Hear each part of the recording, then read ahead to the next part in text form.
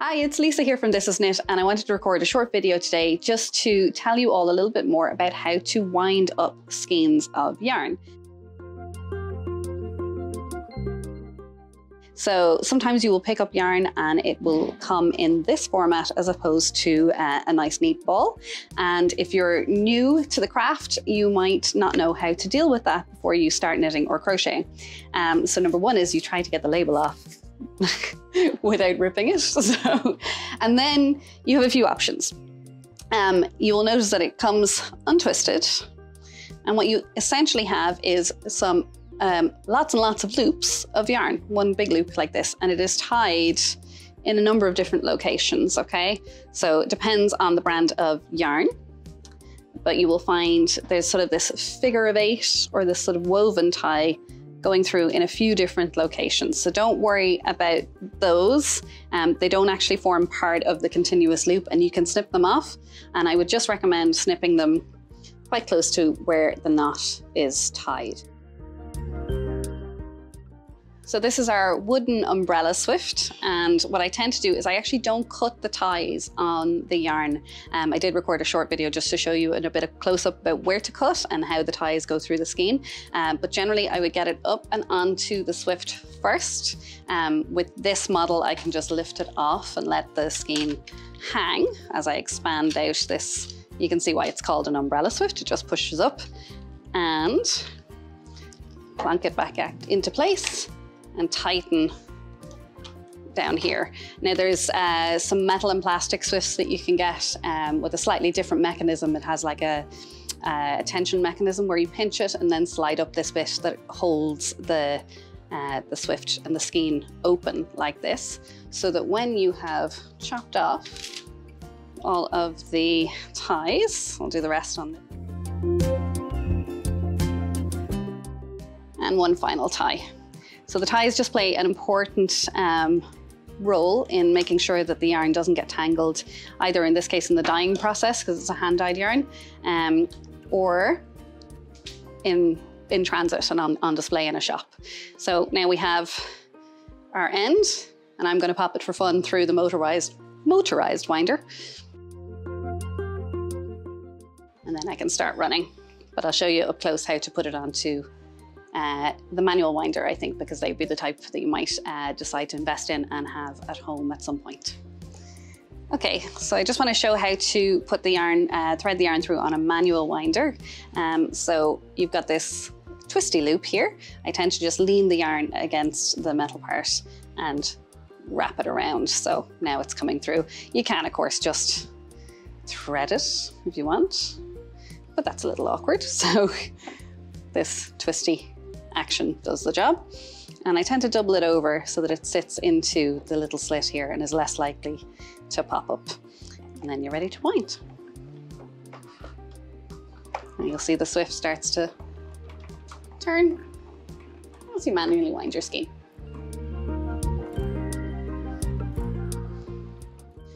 But if you picked up yarn and you haven't asked for it to be wound already, uh, or maybe it's been sitting in your stash for a little while, um, you can also, of course, wind it by hand at home. So I'm just going to show you how to do that with uh, a simple two chairs and uh, your hands.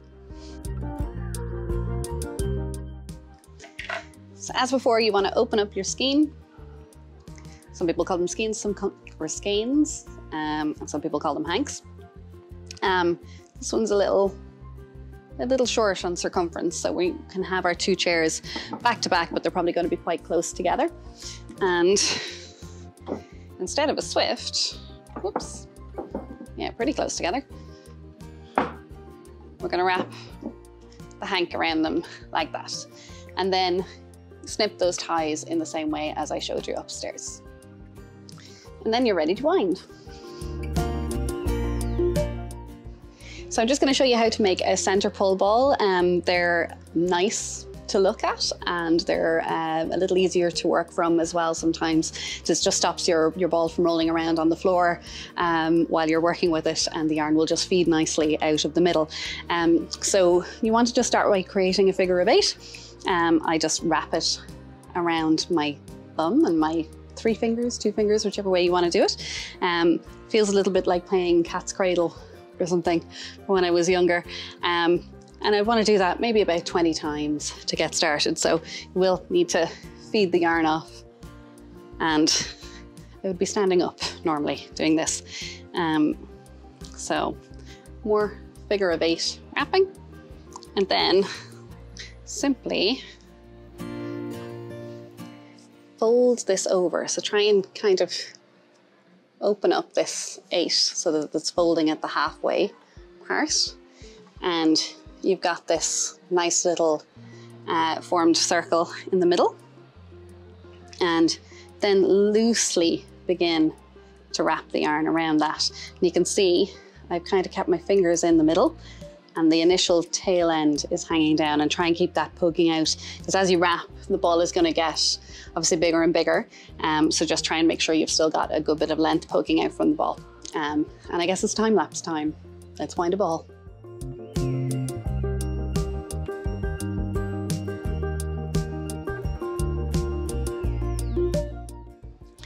So as you can see, this method takes a little bit longer, um, but it does create a nice little ball that's ready to use. And this is the center pull here where I've kept my, uh, my finger in there to just make sure that there's some space for it to start rolling off. Um, and it can be done just with two chairs. Um, one thing or two things to say is towards the end, you may have noticed that I had to sort of move the chairs apart a little bit more um, just to kind of keep the tension on the skein and stop it from slipping up. Um, and that's can happen that you need to just kind of adjust and make sure that the, the skein isn't going to pop up as you're pulling on the thread. Um, so I'll show you how the uh, motorized ball winder, the, what the ball looks like after it comes off that. Um, obviously one is quicker, um, but the other can be done uh, from the comfort of your home uh, while watching television.